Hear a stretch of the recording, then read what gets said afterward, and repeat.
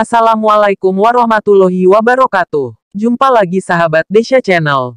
Dalam kajian islami, jangan lupa like, komen, subscribe-nya. Jika sahabat menganggap video ini bermanfaat, terima kasih. Bismillahirrohmanirrohim. Segala puji bagi Allah. Solawat salam atas Nabi Muhammad, keluarganya dan para sahabat, telah berkata seorang kodi atau ahli ilmu, yang bernama Abu Syujah, Ahmad bin Al-Husain bin Ahmad Al-Asfahan. Aku diminta oleh sebagian teman untuk menyusun ringkasan fikih mazhab syafi'i yang sangat ringkas dan sederhana dan terbagi dalam bagian-bagian yang banyak agar mudah dipelajari dan dihafal. Aku penuhi permintaan itu dengan memohon taufik pada Allah yang Maha Kuasa dan Maha Tahu.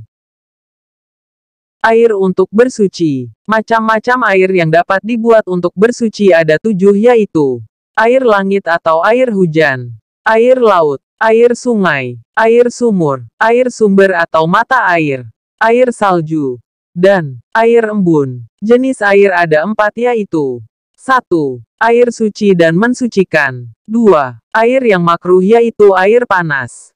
3. Air suci tapi tidak mensucikan, yaitu air mustamal yaitu air bekas bersuci, dan Air yang air berubah karena tercampur perkara suci lainnya. 4. Air najis yaitu air kurang dari dua kulah yang terkena najis. Atau air mencapai dua kulah terkena najis dan berubah. Adapun ukuran satu kulah adalah 500 kati Baghdad menurut pendapat yang paling sohi. Hukum kulit yang disamak. Kulit bangkai. Dapat suci dengan disamak. Kecuali kulit anjing dan babi. Dan hewan yang terlahir dari keduanya atau dari salah satunya. Adapun tulang bangkai itu najis, kecuali tulang mayat manusia. Umat Islam tidak boleh menggunakan wadah yang terbuat dari emas dan perak, dan hanya boleh menggunakan wadah yang selain dari emas dan perak. Hukum siwak atau sikat gigi. Bersiwak itu hukumnya sunnah dalam setiap keadaan, kecuali setelah terbitnya matahari bagi yang berpuasa. Bersiwak sangat disunahkan dalam tiga keadaan, yaitu satu saat terjadi perubahan bau mulut. Dua, setelah bangun tidur. Tiga, hendak melaksanakan salat. Rukun atau fardunya wudhu ada enam, yaitu satu, Niat. Saat membasuh muka. Dua, Membasuh muka. Tiga, Membasuh kedua tangan sampai siku. Empat, Mengusap sebagian kepala. Lima, Membasuh kedua kaki sampai mata kaki. 6. Dilakukan secara tertib atau berurutan, dari nomor 1 sampai 5.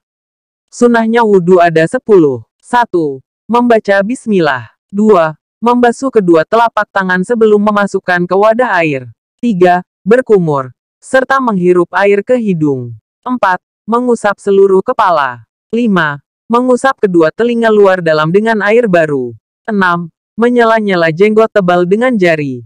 7 membasuh sela-sela jari tangan dan kaki. 8. Mendahulukan bagian kanan dari kiri. 9. Membasuh anggota badan masing-masing tiga kali dan 10. Bersegera atau bersambung. Perkara yang membatalkan wudhu ada enam, yaitu 1. Keluar sesuatu dari dua jalan kubul dan dubur. 2. Tidur dalam keadaan tidak tetap.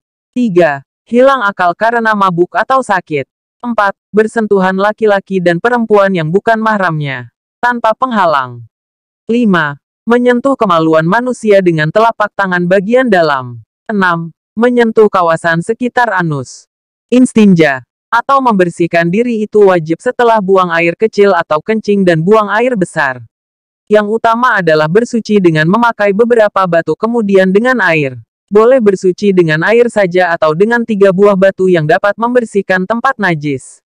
Apabila hendak memakai salah satu dari dua cara, maka memakai air lebih utama.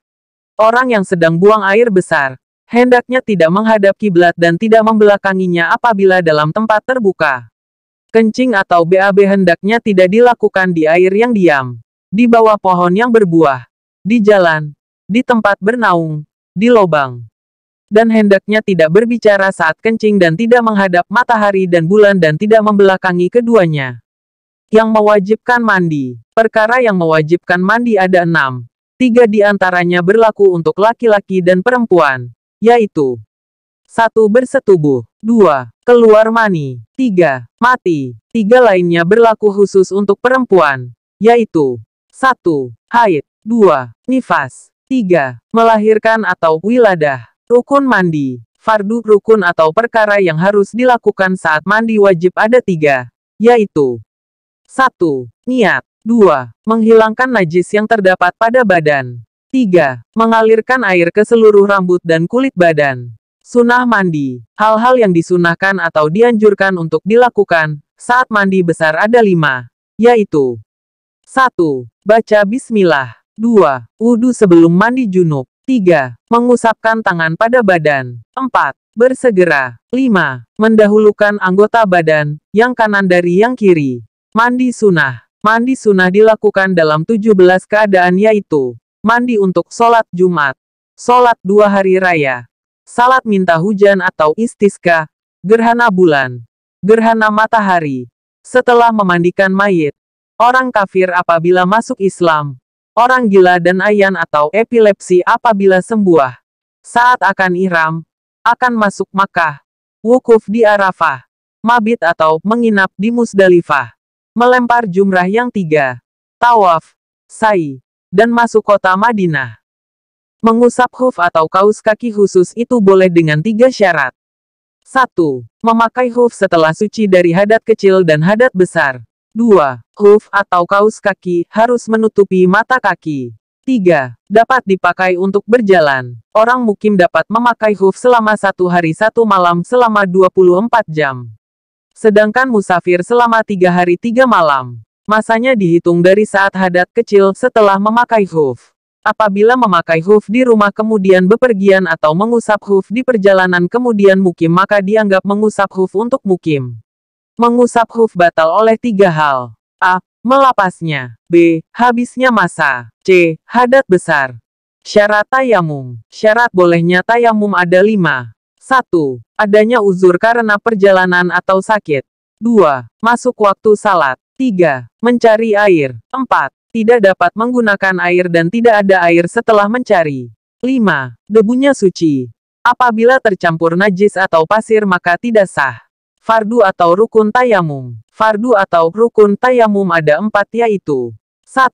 Niat 2. Mengusap wajah 3. Mengusap kedua tangan sampai siku 4. Tertib berurutan 1 sampai 3. Sunnah tayamum. Sunnahnya tayamum ada tiga, yaitu 1. Membaca bismillah. 2. Mendahulukan yang kanan dari yang kiri. 3. Bersegera. Batalnya tayamum. Yang membatalkan tayamum ada tiga, yaitu 1. Semua perkara yang membatalkan wudhu. 2. Melihat air di selain waktu salat.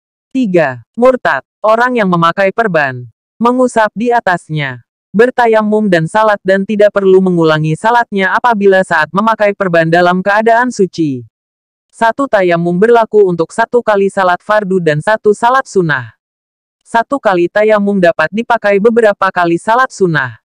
Setiap benda cair yang keluar dari dua jalan yaitu anus dan kemaluan, hukumnya najis kecuali sperma. Membasuh kencing dan kotoran atau tinja itu wajib. Kecuali kencing bayi laki-laki kecil yang belum memakan makanan apa pun selain ASI, maka cara menyucikannya cukup dengan menyiramkan air. Perkara yang najis tidak dimaafkan kecuali sedikit, seperti darah hewan yang tidak mengalir. Apabila jatuh ke dalam bejana atau wadah dan mati, maka tidak menajiskan isi bejana. Seluruh binatang itu suci kecuali anjing dan babi, dan yang lahir dari keduanya atau salah satunya. Adapun bangkai itu najis kecuali ikan, belalang dan manusia. Bejana yang terkena jilatan anjing dan babi, harus dibasuh tujuh kali salah satunya dengan tanah. Sedang najis yang selain itu, cukup dibasuh sekali, namun tiga kali lebih baik. Apabila komer atau arak menjadi anggur dengan sendirinya, maka ia menjadi suci. Apabila perubahan itu karena memasukkan sesuatu zat, maka tidak suci. Ada tiga macam darah yang keluar dari kemaluan wanita. 1. Darah haid. 2. Darah nifas. 3. Darah istihadoh. Darah haid adalah darah yang keluar dari kemaluan perempuan dengan cara sehat bukan karena melahirkan. Dan warnanya kehitam-hitaman. Terasa panas. Dan diikuti mual-mual pada perut. Nifas adalah darah yang keluar setelah melahirkan. Istihadoh adalah darah yang keluar di selain hari-hari haid dan nifas. Paling sedikitnya darah haid adalah satu hari satu malam. Dan yang paling banyak adalah 15 hari. Umumnya 6 atau 7 hari. Paling sedikitnya nifas adalah sebentar dan paling banyak 60 hari. Dan umumnya 40 hari. Paling sedikitnya masa suci di antara dua masa haid adalah 15 hari dan tidak ada batas untuk paling banyaknya. Usia minimal wanita haid adalah 9 tahun. Paling sedikitnya usia kehamilan 6 bulan. Paling panjang kehamilan 4 tahun. Umumnya masa hamil adalah 9 bulan. Larangan saat haid dan nifas. Perkara yang diharamkan saat haid dan nifas ada 8, yaitu Salat, puasa, membaca Al-Quran, menyentuh Al-Quran, membawa Al-Quran, masuk masjid, tawaf, Hubungan intim. Suami yang mencumbu istrinya di antara pusar dan lutut. Larangan saat junub. Perkara yang diharamkan bagi orang junub ada lima, yaitu salat, membaca Al-Quran, menyentuh Al-Quran, membawa Al-Quran, tawaf, tinggal di masjid. Larangan saat hadat kecil. Perkara yang diharamkan saat hadat kecil ada tiga, yaitu salat, tawaf, menyentuh Al-Quran dan membawanya. Assalamualaikum, wahai sahabat yang baik hati. Jangan lupa like, subscribe dan nyalakan loncengnya. Terima kasih telah nonton channel kami. Semoga bermanfaat bagi kita semua. Wassalamualaikum.